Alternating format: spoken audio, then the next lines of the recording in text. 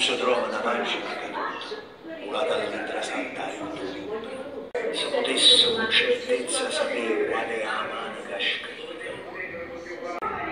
senza scegliere la conoscenza e la senza leggere un giornale per pensiero emozionante che poi è tutto quanto che vuol dire che si fa senza sentire un tu quando ci la vita quando ci è farmacia con l'aria che appagava senza sentirsi un po' che le parle di gentile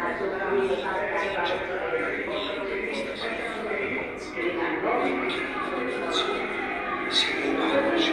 e non sente più e aspirare solamente l'enamore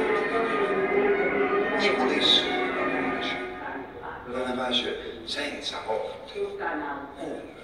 ne sa tanta volte se l'avesse per campare se l'avesse una mattina una mattina nera